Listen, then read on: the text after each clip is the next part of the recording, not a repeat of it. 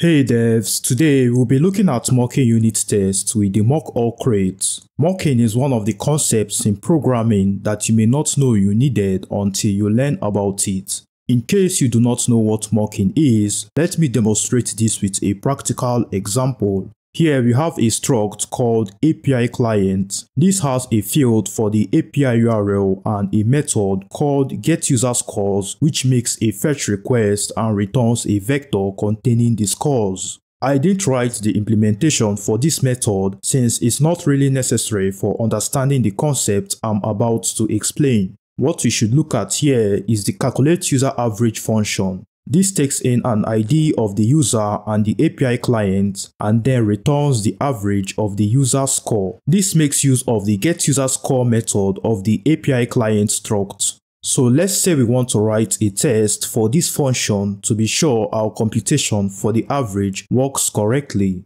The problem here is that we do not have a working API client and even if we have a fetch request here, we do not have control over the external resource. We are not really certain about the data that might be returned from the fetch requests. To properly test the computation in this function, we are going to create our own client and then specify the scores to be returned when we call the getUserScores method. This is called mocking and this won't affect the real client which we use in our program. The first step towards this approach is to convert the API client from a struct to a trait. The reason for this is that our mock client and real client can both implement the API client, making them both have the same method methods. Therefore, I'll change the IMPL here to trait and remove the body of this function. For the struct here, I will rename this to client and this can then implement the API client trait and define its methods. For the client in this parameter, instead of a struct, its type should be any item that implements the API client trait. Secondly, let me try to mock this without the Mockall crate so you can see why this crate is necessary. In the test module, I will manually create a mock client struct and then implement the API client trait for the struct. For the getUserScores method, I will return a vector containing the numbers 40, 50, 60 and 70. The average of these scores should be 55. Now to test the calculate user average function, I will pass in the user ID and the API client. For the user ID, I can pass in any ID, but for the API client, I will pass in the mock client. The return value will be the result and here I will assert that the result, which is the average, is 55 and this test should pass when I run it. A limitation of this method is that we do not really have flexibility. Sometimes you may want to return a different vector for a different ID. You can use a match operator to do that here, but there are still other limitations. Sometimes when working with loops and conditions, you may want to be sure a method in this struct wasn't called or called a certain number of times. Another drawback to this approach is when the trait you wish to mock has so many methods with it, but you only want to make use of one of them. These are the areas where mocking with the Mockall crate shines. So for our third step, we'll add the Mockall crate to this project using cargo add. Now import the automock macro from Mockall and add this attribute macro to the API client trait. When you add this automock macro to a trait, it creates a struct whose name begins with mock followed by the trait's name. In this case, this will be mock API client. So in our test module, I will remove the mock client struct and in the test function, I will create an instance of the the mock API client using its new method. Now, instead of passing the mock client struct in the parameter of this function, I will pass in the instance of the mock API client struct. To specify what the getUserScores method should return when it's called, first I will have to make the mock variable mutable. On a side note, for every method contained in a trait, the automock macro creates a new method that begins with expect followed by the method's name. From this method, method, you can then define the behavior of its corresponding method. So for the mock API client, to define the behavior of the getUserScores method, we will make use of the expect getUserScores method. That being said, I will have to call the expect get user scores method from the mock variable. When the get user scores method is called, I want to return the same vector regardless of the user ID passed in. To do this, I will use the return const method and pass in the vector.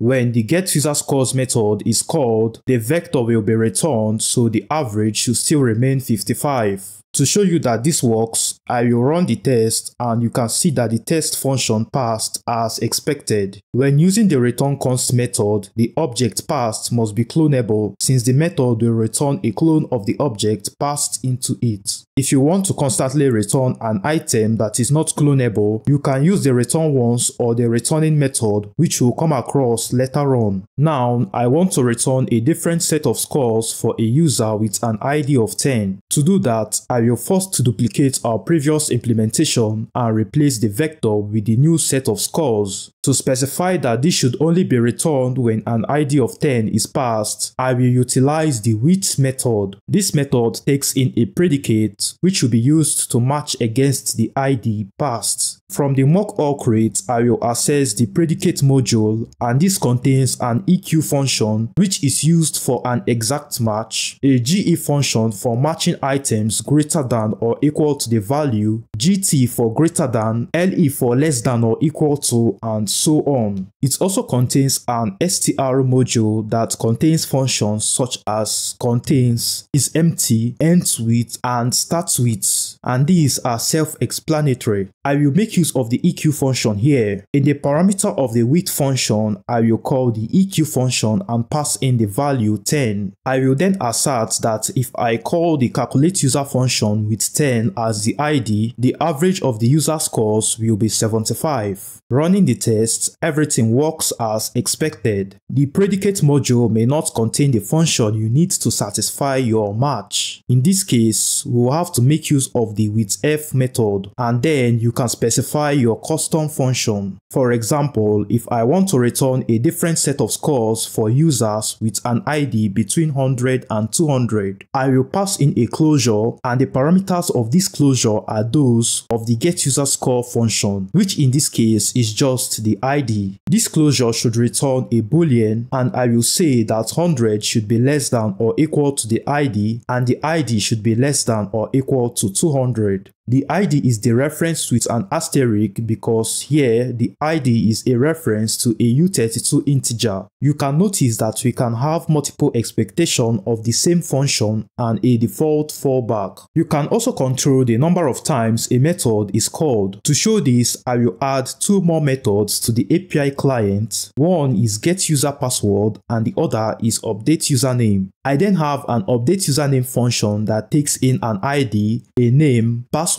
and the API client. It gets the user's password and then compares the password given to the user's actual password. If they match, the username is then updated. Now, I want to be certain that if I pass in the wrong password, the username is not updated. In the test function for this, I will create a mock API client and for the user with ID 1, I want to return pass123 whenever the get user password is called. When I call the update username function, I will pass in 1 as the ID, new name as the name, password as a password, and mock as the API client.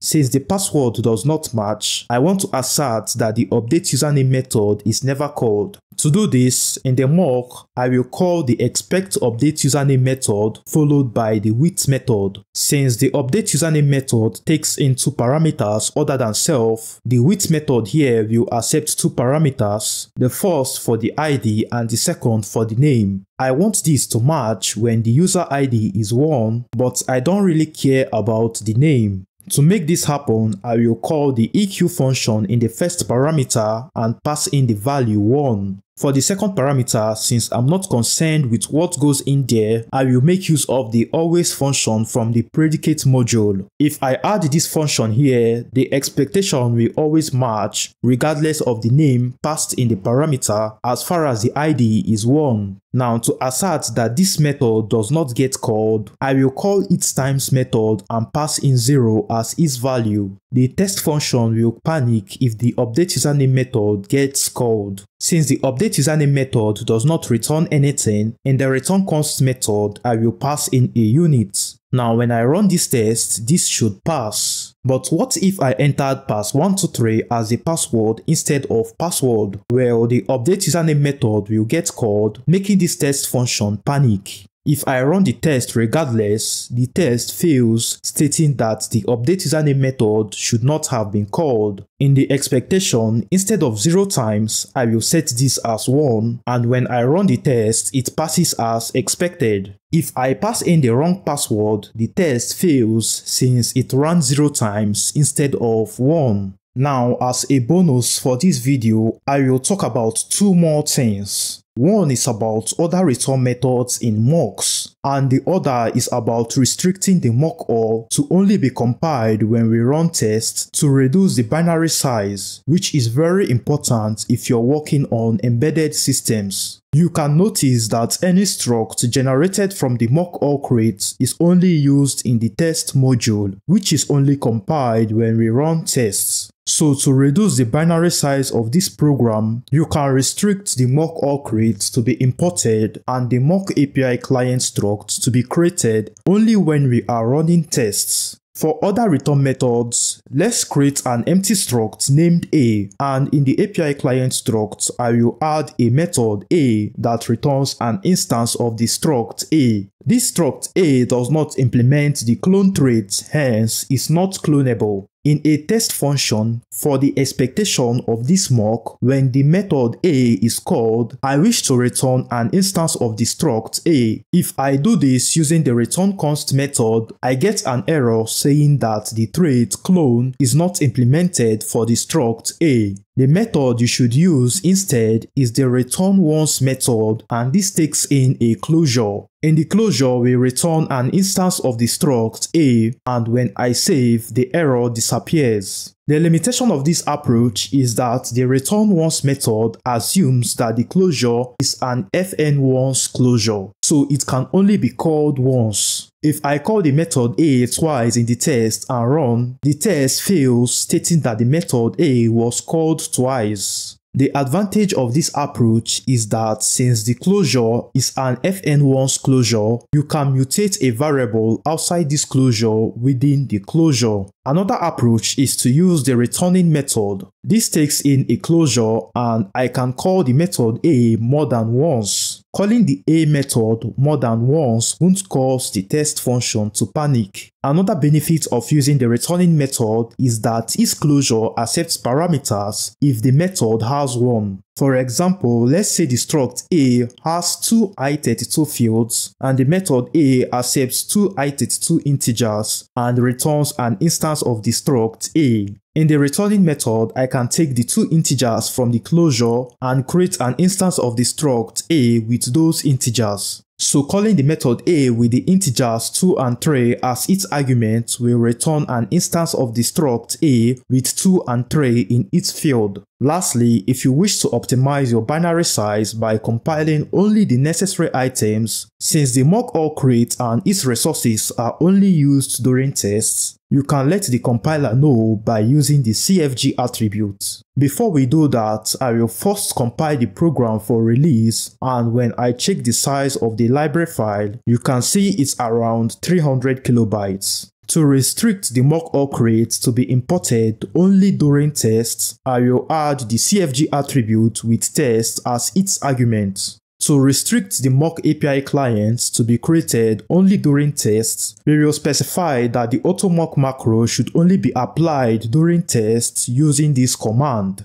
When I compile the program and get the size of the library file, you can see it's now reduced to about 8 kilobytes. To learn more about the advanced features of the Mockall crate, you can check out its docs. For example, in the async trait section, you will learn that when working with asynchronous functions in your trait and you want to add the async trait macro to the trait, the automock macro should be placed before the async trait macro. I will drop the link in the description and pinned comments. To get the code used in this video, I will drop a link to the repository as well. Thanks for watching.